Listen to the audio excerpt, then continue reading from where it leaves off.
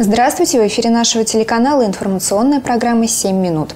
И сегодня у нас в гостях Александр Филатов, дрессировщик, а, который приехал к нам в Рязань с новой цирковой программой. Здравствуйте, Здравствуйте. Александр. А, насколько я знаю, вы представитель одной из известнейших а, цирковых династий. Да, совершенно верно. Если можно, чуть подробнее для наших зрителей расскажите, а, чем занимаетесь вы, чем занимались ваши предки, кого дрессировали? Ну, я надеюсь, многие зрители нас еще помнят нашу фамилию, династию. Мы в основном специализируемся на дрессуре медведей, именно бурых медведей, российских медведей. Наверное, эту эстафету именно мне передали мои родители, а родителям начал э, дрессировать конкретно именно Мишек э, наш дедушка Валентин Иванович Филатов и принес вот как бы широкую известность по, не только по территории России, но и по всему земному шару. Вот. И поэтому э, на данный момент мы, конечно, не остановились только на дрессуре медведей. Э, я работаю по совместительству еще коверным клоуном. Вот, в первом отделении вместе с партнером Александром Моя сестра, она работает э, вместе с мужем Владимиром иллюзионные аттракционы у них, показывают различные фокусы, люди летают, там прокалывают, распиливают, ну все такое, э, что в принципе любит, наверное, на, данный момент молодежь. Ну и вообще осваиваем многие жанры и стараемся идти в ногу со временем.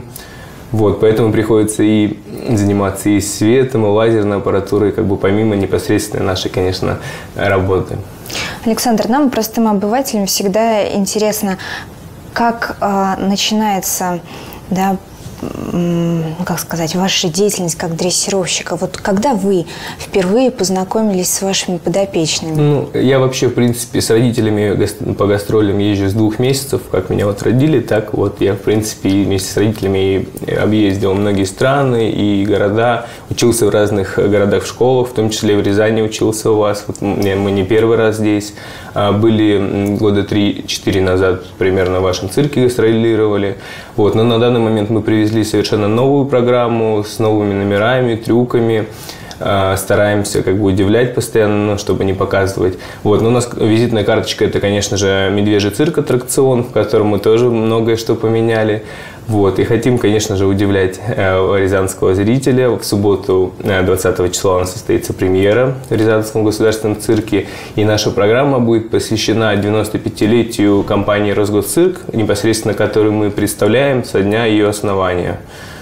Вот, поэтому надеемся на хорошие отзывы комментарии. Мы всегда любим со зрителями после представления пообщаться, спросить, что понравилось и не понравилось. То есть ведем такой более живой образ вот этого искусства, чтобы, ну, как бы не только, что нам нравится показывать, а чтобы это всем нравилось, и принимаем всегда какие-то и критику, и, и наоборот, приятно всегда услышать, что людям нравится. Вы меня простите за мою назойливость, вы все-таки не сказали, в каком возрасте вы впервые... Э, да, да, я немножко отвлекся от темы. Я начал помогать родителям с 14 лет. Вот, так как, в принципе, с хищниками работать по закону Российской Федерации нельзя до совершеннолетия, поэтому я так присматривался издалека, там вот, э, как вы видите, там мишки выходят в разных костюмах, реквизитом, то есть вот э, помогал вот, со всякими э, закулисными такими делами, то есть то, что не видит зритель, там у нас ну, очень много народу, то есть вроде бы в манеже работает там один-два артиста, да, и много мишек. На самом деле там кропотливый труд происходит э, в закулисной части, много помощников, одевают, переодевают мишек. Ну, вот с этого я начинал. И ну, в манеж, э, потом был ассистентом, ассистировал родителям. И так постепенно вот они как бы меня подвели к выходу уже как артиста. И на данный момент вот уже работаю аттракцион. Александр, а в чем э, сложность работы именно вот с таким животным, как медведь? Ну, в первую очередь это хищники. И хищники, которые не показывают свою агрессию, то есть э, вполне они всегда спокойные, такие мишки, вот э, сидят себе, вроде них все хорошо, и в любой момент они могут броситься, то есть э, у них все равно хищный рефлекс, вот это все, оно никуда не уходит, не с годами, хоть мы их и выращиваем вот совсем там маленьких, сосочек выкармливаем, но как бы они всегда остаются хищниками, про это забывать нельзя, и нужно иметь очень хорошую команду, то есть когда я работаю в манеже, за мной стоят мои дрессировщики, ассистенты, и вот в них именно нужно быть уверенным, что сзади у тебя есть глаза, которые, в принципе, за тобой и ну, подстраховывают тебя в любом случае. А сколько животных у вас принимает участие в программе? Я имею в виду медведей. Медведи? Да. Ну, у нас сейчас вообще есть двое мишек, они родились буквально этой зимой, вот после Нового года. То есть, ну, там я уезжал, у нас был отпуск, э, вот сейчас у нас первый город после отпуска мы начинаем, уезжали в отпуск, они были маленькие. Вот здесь ребята их, конечно, откормили, я приехал, там уже вот такие прям мохнатые э, комочки, вот сейчас будем начинать с ними репетировать, у них будут первые выходы в манеж, вот пока они так прогуливаются, наслаждаются еще такой детской жизнью. А вообще у нас ну, 16 медведей на данный момент, вот, а разных возрастов, э, то есть и самки, э, разные. То есть на мишке мы не держим там, как бывает, э, дрессировщики, там только либо самок, либо самцов. У нас смешанная группа. В принципе, нас это как-то не напрягает. То есть некоторые не могут так работать, что ну, то, что у медведя есть гулка, как у всех. Вот. Ну, вроде мы справляемся с таким количеством и с разными мастями вот, медведей. Как бы получаем от этого, в принципе, удовольствие. Скажите, вот в этой программе «Рязанцы», а, помимо ваших аттракционов с э, медведями, что еще смогут видеть? Может быть, каких животных? А, каких животных у нас на самом деле очень много. У нас э, будет э, экзотическая группа, там и пеликаны будут, и верблюды. Вот у нас работают артисты Сычевы. А, будут и всякие репризы, опять же, и со зрителями. И вот у нас есть собака-каскадер, которая единственная в мире выполняет прыжок 6-метровой высоты прямо в руки ну, вот к моему партнеру Александру. Вот тоже такой у нас есть гордость. Э, собака-супермен у нас. Вот. Потом еще у нас будет конный аттракцион. В этой программе будут очень э, красивые различные пород собаки то есть и разных цветов и пород тоже очень интересный номер.